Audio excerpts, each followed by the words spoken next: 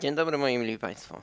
Rozpoczęcie planowania wyprawy zaczynamy od sprawdzenia kierunku wiatru. Jest to naprawdę bardzo ważne, aby w pierwszą stronę jechać pod wiatr, a wracać z wiatrem. Ja do tego używam strony Windy. Możemy tutaj sobie właśnie sprawdzić wiatr. W tej chwili sprawdzam na dzień dzisiejszy, czyli na niedzielę.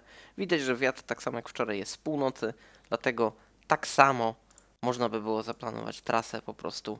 Najpierw jedziemy na północ, a potem sobie zjeżdżamy w dół, żeby wracać z wiatrem. Jest to bardzo istotne, bardzo Wam to pomoże i to jest punkt pierwszy co do planowania właśnie takiej wyprawy, która jest y, długodystansowa i wymagająca po prostu w pewnym sensie dla organizmu. Boże, nie ma opcji, że zacznę film w tej Sodomie. Ale pierwsza rzecz to jest ustawienie ciśnienia. Jako iż dziś trasa będzie przebiegała przez asfalt, to 3-3 bara. W sprawie ciśnienia oczywiście każdy powinien sobie dobrać sam indywidualnie pod swój rower. Ja akurat jechałem na MTB 29 cali na właściwie terenowych oponach, więc te 3-3 to tak było optymalnie. Ja mogę nabić do 4 barów, ale wtedy już wydaje mi się, że ta opona byłaby za twarda. Jechałoby mi się łatwiej, ale jakby komfort podróży spadłby na tyle, że finalnie zmęczyłbym się bardziej, więc też trzeba to wyczuć na jakichś krótszych dystansach po prostu. Już jestem ciekaw jak to GoPro zbiera dźwięk. Zaczynamy wycieczkę. 0,29, 0,30 Ruszam. Ale szczerze mówiąc nie czuję się jak miałbym przejechać dystans 86 km To może mnie zgubić Bo już na początku mam problem z tyłkiem Że byłem 4 dni temu na jakimś wyjeździe a już mnie boli tyłek. Nie wiem czemu w ogóle pokazuje mi, że nie mam karty w telefonie. Antybohater dnia, wiatr. Jest zimny wiatr z północy. Ja wiem, że u Was na ekranach to wygląda, że jest cieplutko. Ale spójrzcie jak ja jestem ubrany. Proszę bardzo, czyli długie spodnie jeansowe, gruba wełniana bluza właściwie. Było tam, no nie wiem czy wełniana, ale w każdym razie zwykła, przeciętna, gruba bluza jest mi zimno. Pomimo tego, że cały czas pedałuję, mamy 6 km za sobą. Nie chcę narzekać, ale tyłek mnie już boli. Więc nie wiem co będzie na końcu tej trasy. Plan miałem na 100, ale szczerze mówiąc 86 to jest minimum. Zawsze zakładajcie sobie jakiś plan. Minimum, maksimum polecam. No i sprawdzajcie pogodę, bo w tej chwili e, jedziemy cały czas pod wiatr taki jest plan, żeby jechać na północ pod wiatr, a na południe już z wiatrem. Czyli kurczę, za każdym razem jak to jestem, ta łódź robi na mnie takie wrażenie. Pokazuję ją każdemu po prostu, kim tu jestem. To jest po prostu przepotężna. Obok stoi duża. A jaka ta jest wielka. Za nami pierwsze 10 kilometrów. Jestem co i jak robicie takie większe dystanse, planujecie, to dobrze by było, żeby właśnie chociaż taką dyszkę przejechać sobie tak, że wsiadacie, jedziecie cały czas bez żadnych przerw i w takim jakby bez problemu. Jak takie 35-40 km musicie robić bez problemu, żeby podchodzić do większych dystansów. Potem jest już jakby łatwiej. Potem po prostu jedziecie, ale tak, żeby systematycznie sobie zrobić na przykład te dychę bez zatrzymania, 20 bez zatrzymania. No potem to już tam jakieś takie krótkie przerwy po dwie minutki to tam nic, nie? Ale żebyście się nie zatrzymywali na 15-20 minut. Ja sobie tu zjeżdżam teraz. Tu jest plażyczka. I oczywiście jakby jezioro, jeziorak, które objeżdżamy i ono będzie dzisiaj nieodłącznym elementem ach, naszej wycieczki. No i w tej chwili po prawej stronie mamy szosę, którą też można jechać bardziej naokoło. A tędy mamy skrót przez las, przez malowniczą miejscowość, znaczy przez taki ośrodek, właściwie nie wiem jak to nazwać. Znajdujemy się w tej chwili w Makowie. Po lewej stronie jest oczywiście jezioro, jeziorak. Cały czas będzie nam ono towarzyszyć po lewej stronie. A latem to są zawsze jakieś restauracje, bary, można coś zjeść. Także bardzo spoko miejsce ale my dziś przejeżdżamy je tranzytowo i lecimy po prostu dalej. Po czas goni jednak, czas goni, niestety. 20 zachodzi słońce i mam nadzieję zdążyć. Ale myślę, że się uda, no tak. Jedziemy te 15 km na godzinę, czyli powiedzmy, że 6 godzin e, potrzebujemy na Cóż, to, że warto się zabezpieczać, wiadomo nie od dziś. Moim zabezpieczeniem akurat przy takim dystansie, jeżeli coś by poszło nie tak, e, były dwie osoby, które w razie W mogły wsiąść w samochód i mnie poratować, e, po prostu po mnie przyjechać. Warto o czymś takim pomyśleć. O dwie osoby, lepiej niż dwie niż jedna. No i do tego cały czas też e, moją bieżącą lokalizację miała siostra oraz jakby tona znajomych, także wszyscy wiedzieli, gdzie jestem, co planuję. I warto o tym wspomnieć, żeby jednak ktoś wiedział. 90, no to damy radę. I zaczynamy malowniczy etap i wciąż słychać jak wieje. Czy to ptaszki ćwierkają? Nie, to mój napęd. No ale cóż, jedziemy. Trochę przeszkadza, trzeba coś tam naoliwić, ale chciałbym przejść do kolejnego tematu. Niestety gadułą mi te ujęcia trochę będą trwały. No więc tak, czy rower jest istotny? Po części tak, ale rower, którym obecnie jadę, kosztował 1100 zł. Bodajże 1100 albo 1150, nie pamiętam, bo wspaniały właściciel naprawdę mi ładnie zszedł z ceny. Wystawiony był za 1400. Jest to oczywiście Unibike 29 cali MTB z przebiegiem, już Państwu mówię, e, 5256 km. Że wcale rower nie musi być drogi. Musi być oczywiście fajny, ale nie musi być drogi, żeby działał, żeby dało się robić takie wyjazdy. Oczywiście muszę w niego zainwestować. Plan jest na wymianę całego napędu, czyli tych wszystkich zębatek. No z tyłu nie widać, bo są pod sakwą, ale nieważne czym, ważne jak. Nagram sobie pomimo wiatru, przede mną pan kolarz na podobnym rowerze, też na unibajku sześcioletnim. Wraca sobie z Iławy bodajże, albo z pociągu, nie wiem, do Miłomłyna. O, chwilę pogadaliśmy, ale on jest zdecydowanie, myślę, w lepszej formie niż ja, bo długo mnie doganiał, bo już go widziałem jakiś czas temu za mną, ale no, jakby przy dzisiejszej trasie, jaką mam, to tak się nie mogę za bardzo forsować, tylko jadę na 40-50% mocy jak na razie. No, koniec pięknego asfaltu. Wracamy do starych czasów. Tak kiedyś cała ta droga wyglądała. Nawet gorzej. To my jedziemy tam, gdzie linia drzew. Będziemy za chwilę zjeżdżać z 20 metrów w dół na linię jezioraka i będziemy w jego takim północno-wschodnim punkcie. No i takie miejsce. Wartość merytoryczna tego ujęcia to jedzonko. Bananki są bardzo spoko. Mam jeszcze jogurcik, kanapeczki. E, regularne picie, regularne jedzenie w trakcie takiej trasy. To jest podstawa, żeby... Kurde, tu jakieś węże. E, żeby ją pokonać. No po prostu nie mogę się napatrzeć. Jak tu jest pięknie.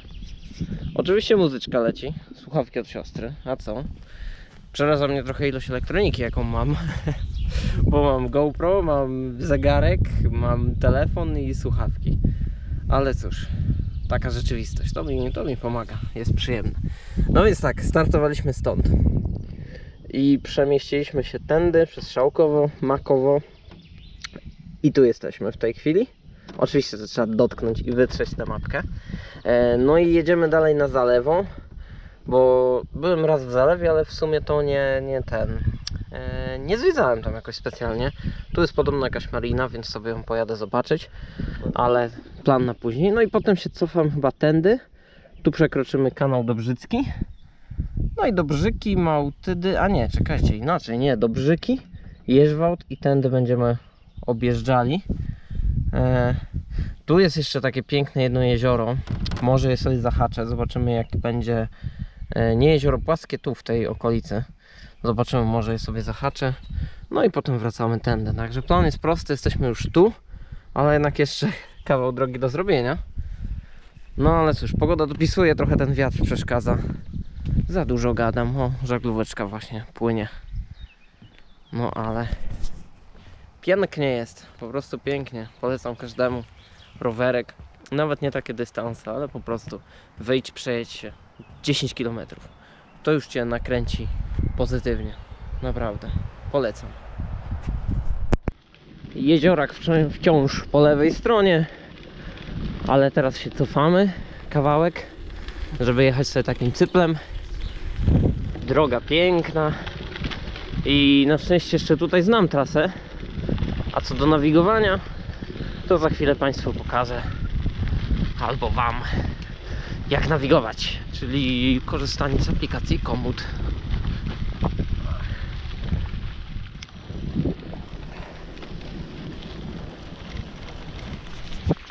Wsparłem się już w tej chwili aplikacją, która nawiguje i rzekomo mam jechać cały czas prosto, ale teraz widzę trzy drogi i nie za bardzo wiem gdzie jechać. A, tędy. Znaczy, kurde, no teraz sam nie wiem. No dobra, to, to będzie ten moment, w którym ja wam pokażę jak nawigujemy, bo tu jest niby żółty szlak rowerowy, więc to powinna być prawda, ale już biorę telefonik, odpalam mapcie. A, no tak. Kurczę, widać? Widać, tędy musimy przejechać tu, tu, tu, tu, tu. By dobić tu w dół do miejscowości Śliwa. Czy tam Karpowo, a nie, Śliwa jest tu. Widać tam coś słabo, ale wiecie o co chodzi.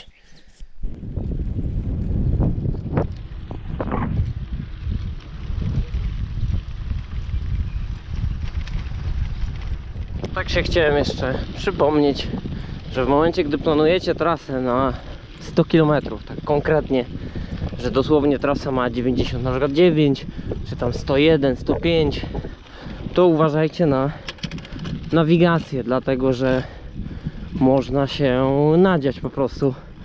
Ja w tej chwili jadę na pałę. Nie do końca wiem, czy jadę dobrą drogą, czy złą, ale jadę.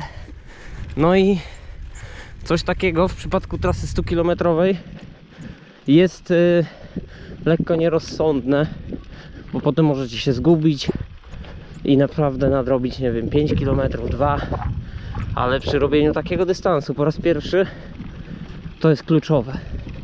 W sensie odczujecie te dodatkowe 2 km.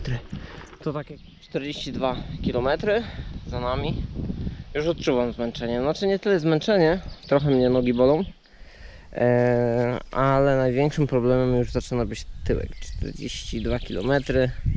Właściwie za chwilę będziemy w północnym, najbardziej północnym punkcie. Ja sobie zjechałem, żeby sobie chwilę odsapnąć. Chociaż i tak mam właśnie plan w zalewie na dłuższą przerwę, więc okoliczności natury, Unibike. I przejdę do kolejnego wątku, czyli dlaczego sakwa, a nie plecak. Plecak wisi wam na plecach, pocicie się i no za chwilę macie całe mokre plecy i samo posiadanie dodatkowej wagi na plecach utrudnia jazdę, a posiadanie tego na rowerze również utrudnia jazdę i jest ciężkie. Jakby im mniej wagi macie na sobie i im mniej wagi macie na rowerze, tym lepiej. Ale no są takie rzeczy, które trzeba zabrać. To co zabrałem pokażę wkrótce, ale taka uwaga właśnie, dlaczego sakwa to jest dobry plan. To jest bagażnik Crosso. Jak go kupowałem 8 lat temu, to kosztowało 150 zł i sakwy Meridy. Finalnie zapomniałem nagrać tego, co miałem w sakwie, więc zabieramy się za to jakby z zaplecza. Miałem multitool, czyli takie narzędzie składane z różnymi tam kluczykami, wiecie, wkrętak płaski, duży, imbusy. Bardzo jest to ważne, żeby jednak w razie W móc sobie coś podregulować na szybko. Trytytki zawsze się przydadzą. Z jedzenia miałem dwa bananki, dwie kanapki. E, kanapki z pastą łososiową mogły być jakby bardziej konkretne, ale jestem leniwy, więc zrobiłem sobie po prostu takie dwie kanapeczki z pastą łososiową, jeden jogurcik truskawkowy, mm, dwa batoniki, żeby mieć coś słodkiego do przekąszenia, bardzo się przydaje. To nie muszą być tam jakieś kurcze, nie wiem, proteinowe czy tam jakieś zdrowe. Zwykłe tam KitKata i miałem i Twixa. E, jeden litr wody w sakwie, Woda jest bardzo ważna, lepiej mieć jej za dużo niż za mało, ale to też, żeby nie, nie brać baniaka 5 litrów, bo 5 kilo na rowerze to, to jest przeginka, za dużo. Y, 0,7 litra jeszcze w bidonie, więc tak jakby łącznie prawie 2 litry wody miałem. W przypadku trasy bez y, nie było upału, to było wystarczająco, ale jeżeli byłby upał, to myślę, że spokojnie z litru wody więcej, jak nie dwa razy więcej tej wody. Czyli w tym przypadku lepiej po prostu ją gdzieś dokupić po trasie. No i po to przydałaby się blokada do roweru, żeby jednak go wam nie ukradli. E, U mnie była bez sensu, mogłem jej nie brać, bo im mniej weźmiecie, tym lepiej, ale też lepiej czasami coś mieć niż nie mieć. Tak jest tu w przypadku, nie miałem ani pompki, ani dętki, ani e, żadnych łyżek do opon. Nie mogłem naprawić sobie w razie w opony w przypadku przebicia. No ale jak już wcześniej mówiłem, miałem osobę, która w razie w przyjechałaby po mnie, więc to zależy. Myślę, że jednak warto to mieć, jeżeli jeździcie solo i ktoś was jakby nie ma kto was poratować. Lampki koniecznie, bo nigdy nie wiecie co się wydarzy, czy może nie będziecie właśnie wracać piechotą czy coś. E, Blokady powerbank plus kable. Jeżeli macie telefon, który wytrzyma całą trasę, bo na przykład nie rejestrujecie treningu, nie siedzicie w międzyczasie na Instagramie, to, to nie trzeba go brać, bo jest on ciężki, ale jednak z drugiej strony utracić możliwość e, jakby zawołania pomocy to, to też słabo. Koszulka z długim rękawem, zapasowe skarpetki, tak, jakieś części odzieży. No i jeszcze warto wspomnieć o tym, żeby mieć rękawiczki na łapki, kask i okulary. Okulary po to, żeby wam żaden robal nie wpadł, nie tyle, żeby wyglądać szybko. E, Kask dla bezpieczeństwa, bo już po raz drugi podkreślam, że bezpieczeństwo przede wszystkim. E, No i oczywiście rękawiczki, żeby ręce wam nie dostały po dupie, bo moje rączki wyglądają dobrze. Po tej wyprawie jakby w ogóle nic nie czuję, więc jest to ważne, bo jednak odciski i tak dalej mogą wam się dać, mogą wam się dać we znaki. No jestem w zalewie. Rowerek stoi. Zadbałem właśnie, dbam o prąd dla swojego organizmu oraz telefonu. Widok mamy taki. Patrzymy na jezioro Ewingi. No i jesteśmy tutaj. A będziemy się cofać z powrotem, jakby tędy przejechaliśmy. Cofamy się z powrotem tam na dół. I tym mostkiem tu będziemy jechać. Za jakiś czas pewnie go zobaczymy. A co do prądu, to ja zjadłem sobie dwie kanapeczki i ogórcik. Jeszcze teraz doładowywuję iPhone'a z powerbanka. I tam chwilę zaczekam, niech się jeszcze podładuje i będę jechał dalej. No, zmienił się kierunek wiatru, to i się zmieniła prędkość. Tak jadę sobie 23, 22, czasem 26. Także ważne jest to kolejny aspekt, czyli branie pod uwagę wiatru do planowania wycieczki. Teraz już lecimy z wiatrem i kierujemy się w stronę domu z powrotem 50 km za nami. Jestem na wspomnianym kanale. Tak to wygląda. Ładny mostek, odremontowany. I szczerze mówiąc jestem zaskoczony, że on wygląda na zadbany, to znaczy na taki pogłębiony. Znaczyłoby to, że można tu jednak przepłynąć. Dobra, kolejny punkcik na trasie zaliczony. Tu jest odbitka na stary Cieszgoń. A my suniemy dalej. Cały czas po lewej raz na jakiś czas widuję jeziorko. Tu pewnie jakiś kanał. Oczywiście, że tak. Ale taki zaniedbany. Ten kanał. No i ciśniemy 60 km za mną. Widać, nie widać. No i tak powolutku. Oj, oj, oj. Kroczek po kroczku. Jedziemy. Teraz czekam na odbitkę w lewo i będę już skręcał na siemiany. I to już naprawdę tak za siemianami. To już będzie ostatnia prosta do domu. Bo akurat do siemian to czasami się wybieram na jakąś tam przejażdżkę taką krótką. No tam jest 20 parę w jedną stronę kilometrów. O i tak widzicie, idzie. Szczerze mówiąc myślałem, że będzie gorzej. Ale no jeszcze nie chwalmy dnia przed zachodem słońca, bo cały czas tyłek jednak doskwiera. No chyba tam będę skręcał. Zdecydowanie tam. No to jeszcze zostanę z wami. Iława, czyli tam gdzie mieszkam. Spojrzymy się za siebie, czy nic nie jedzie. Nie jedzie. Skręcamy. I dobrze to wygląda jak na razie. Bo ładna droga, ale zobaczymy co będzie dalej. Krótko o tym, dlaczego warto oszczędzać siły. Aktualnie już od jakichś 2 km cały czas jadę pod górkę. Nie jest to duża górka. Nie ma co porównywać do terenów górskich. Ale cały czas jadę pod górę. I przydają się rezerwy mocy, żeby właśnie teraz z nich skorzystać, bo jadę w okolicach 14 na godzinę, ale jadę. I nie jest wcale aż tak źle.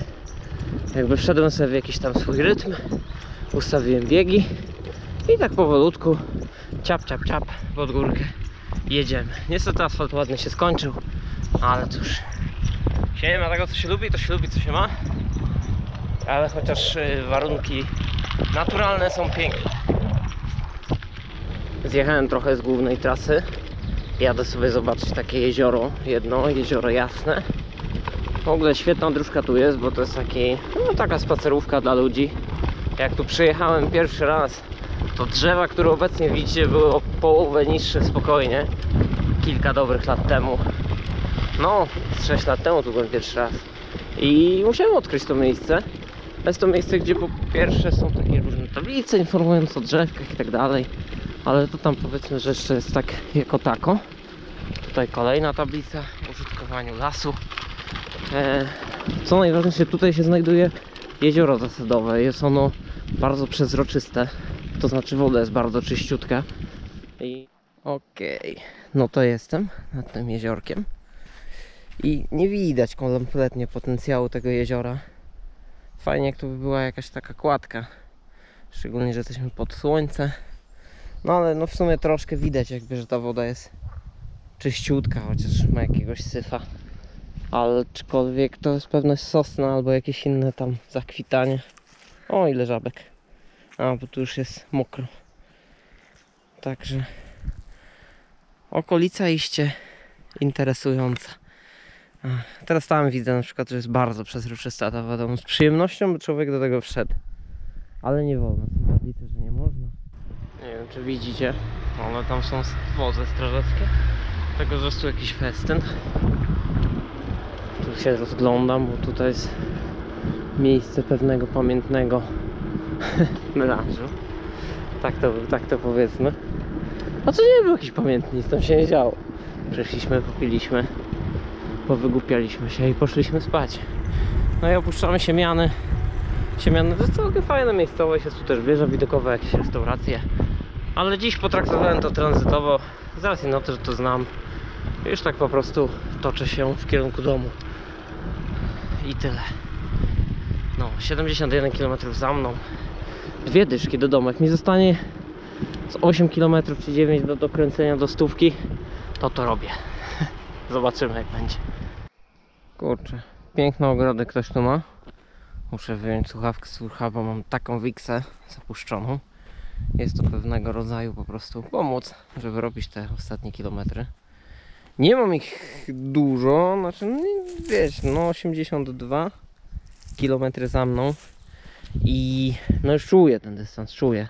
Szczególnie jakby w tyłku, nie? Mam problem niestety z tyłkiem, który albo ma jakieś już odparzenia od siodełka, albo po prostu boli, no bo no spójrzcie jak ja wyglądam, jestem chudziutki i no ja mam kości i też może być kwestia, że nie do końca mam dobrze ustawione siodełka, aczkolwiek tu mnie nic nie przyciska i tu mam jakby kości to od tyłka, więc jest ustawione wydaje mi się prawidłowo. Tylko, że no ile można, nie? No, jakby przy kolarstwie też jest ważne dostosowywanie, po prostu przyzwyczajenie tyłka do siedzenia na siodełku. A ja tego nigdy nie robiłem, w sensie od... ja mam czwarty trening w tym roku, więc no szału nie ma, ale dobra. Tyle jakby z informacji. Właśnie się napiłem, chwilę odsapnąłem i jedziemy dalej.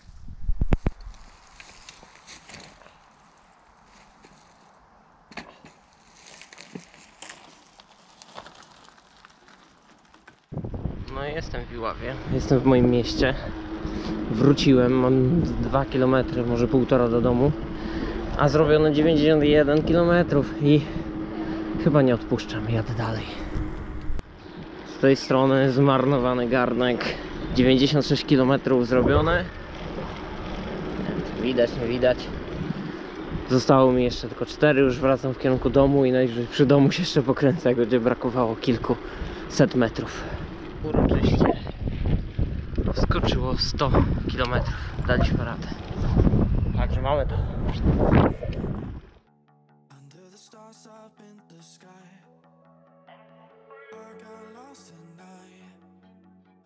Stars up in the sky, directions hard to find.